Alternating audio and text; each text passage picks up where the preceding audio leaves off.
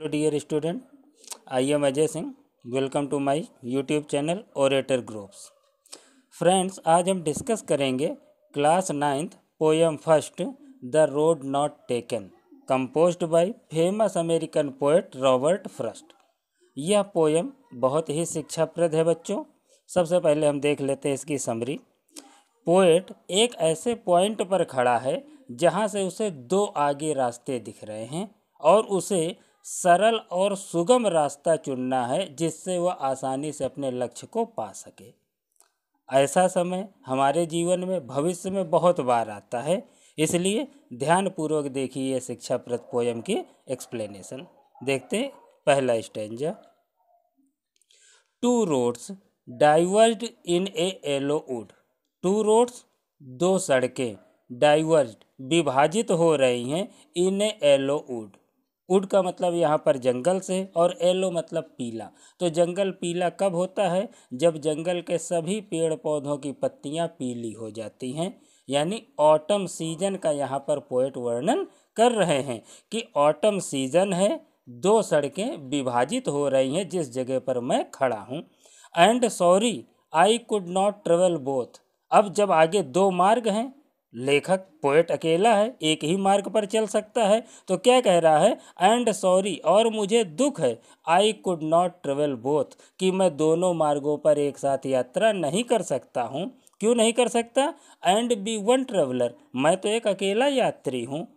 Long I stood बहुत देर तक खड़े होकर के यही सोच रहा है। पोएट यही सोच रहा है, बहुत देर तक उसी पॉइंट पर खड़ा है।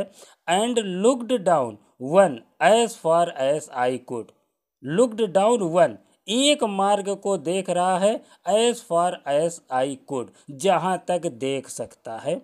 टू वेयर इट बेंट कहाँ तक देख सकता है? जब तक वह मार्ग घूम नहीं जा रहा है। बेंट मतलब घूमना। जब तक वह मार्ग घूम नहीं जा रहा है in the undergrowth undergrowth small grass को, छोटी जो घास झंखाड़ होती है, जब तक वह मार्ग छोटे घास फूस झंखाड़ के पीछे घूमकर विलुप्त नहीं हो जा रहा है, तब तक पोएट उसी स्थान पर खड़े हो करके उस मार्ग को देख रहा है। एक बार फिर से देख लेते हैं पूरा सारांश जो है, स्टेंजा फ़र्स्ट का, कि मित्रों, दो मार्ग एक बिंदु से दो अलग अलग दिशाओं में विभाजित हो रहे हैं और जंगल की ओर आगे जा रहे हैं। लेखक दुखी है कि मैं दोनों मार्गों में नहीं चल सकता क्योंकि मैं अकेला हूँ। इसी बात को सोच करके वह उसी बिंदु पर खड़े हो करके दूर तक उस मार्ग को देख रहा है। जब तक वह मार्ग छोटी छोटी झाड़ियों और पौधों के पीछे घूमकर विलुप्त नहीं हो जाता। देखते हैं बच्चों stanza second. Then took the other काफ़ी देर तक उस बिंदु पर, उस पॉइंट पर खड़ा है पोएट और काफ़ी देर दिमाग पर ज़ोर डाल करके फैसला करता है। देन टुक द अदर क्या फैसला करता है?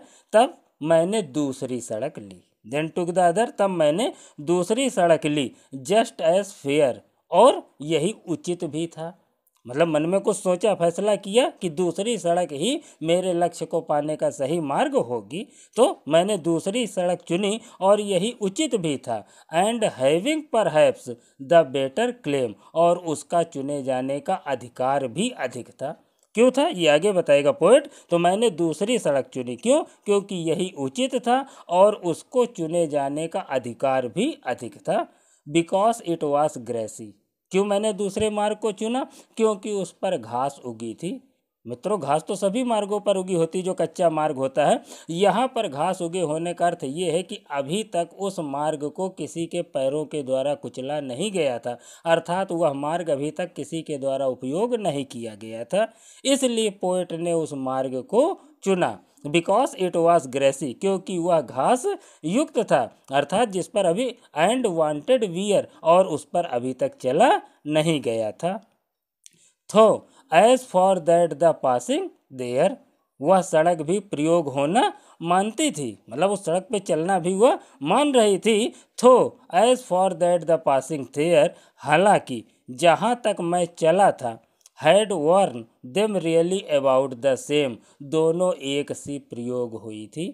सड़क देने, देखने में तो लग रही है कि दोनों में एक सड़क जो है अभी तक ज़्यादा उपयोग नहीं हुई है, इसलिए मैंने उसका चुनाव किया। लेकिन मैं जहाँ तक उस सड़क पर, उस मार्ग पर यात्रा की, मैंने अनुभव किया कि दोनों सड़क तो एक ही समान है। सिर्फ़ सोचने का फ़र्क है कि किस मार्ग से हम आसानी से अपने लक्ष्य को प्राप्त कर सकते हैं। देखते हैं stanza third.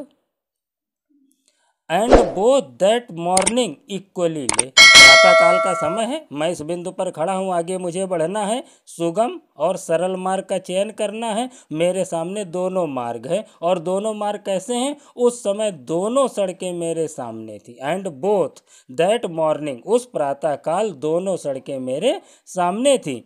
In leaves no step had trodden black. और उसकी पत्तियों को देख करके लग रहा था कि उसके पत्तों को अभी तक किसी के पैरों ने रौंदा नहीं है। अर्थात उस मार्ग की पत्तियों को किसी के पैरों ने रौंद कर अभी तक काला नहीं किया है। ओ I kept the first for another day पर मैंने दूसरे मार्ग पर चलने का फैसला कर लिया था और पहली सड़क किसी और दिन चलने के लिए छोड़ दी थी। ओ I kept the first for another day मैंने पहला मार्ग किसी और दिन चलने के लिए छोड़ दिया था। Yet knowing how way leads on to way देखिए मित्रों, हम अच्छे से जानते हैं जीवन में कि जो मार्ग एक बार आगे बढ़ जाता है, वो वापस नहीं आता। हालाँकि मैं जानता था कैसे रास्ते आगे से आगे निकल जाते हैं। ओ I kept the first for another day yet knowing how way leads on to way कि कैसे रास्ता आगे से आगे निकल जाता है। आई डाउटेड और मुझे संदेह हुआ if I should ever come back मैं कभी वापस आ भी पाऊँगा कि नहीं? क्यों? मैंने एक मार्ग का चयन कर लिया और एक मार्ग कल चलने के लिए छोड़ दिया, पर मुझे ये मालूम है कि जब हम एक बार एक मार्ग पर बढ़ जाते हैं तो हमें पीछे वापस दोबारा मौका नहीं मिलता वापस आने का। इसलिए मुझे यह संदेह हुआ कि क्या मैं कभी दोबारा दूसरे मार्ग पर चलने के लिए आ पाऊँगा? अर्थात यहाँ पर पोएट को ये संदेह हो रहा है कि अब मुझे लक्ष्य अपना इसी मार्ग में प्राप्त करना है, उससे चाहे मेरा भविष्य अच्छा हो या बुरा हो। देखते हैं stanza four. I shall be telling this with a sigh somewhere ages and ages hence दूसरी लाइन से देखिए मित्रों समवेयर कभी एजेस एंड एजेस वर्षों एंड वर्षों ठीक है, वर्षों और वर्षों हेंस आज से, अर्थात आज से वर्षों और वर्षों के बाद मतलब बहुत समय के बाद, सदियों के बाद, भविष्य में कभी। I shall be telling with this with a sigh sigh का अर्थ होता है गहरी सांस छोड़ना। मतलब जो कुछ भी हमारे साथ हुआ, उसको व्यक्त करने के लिए जब पिछली बातों को याद करते हैं तो एक लंबी सांस छोड़ते हुए अपनी बात दोहराते हैं। तो वही पोएट कह रहा है कि कभी सदियों बाद भविष्य में मैं एक गहरी सांस छोड़ करके कहूँगा कि किसी जंगल में two roads diverge in a wood कि किसी जंगल में दो सड़कें विभाजित थी।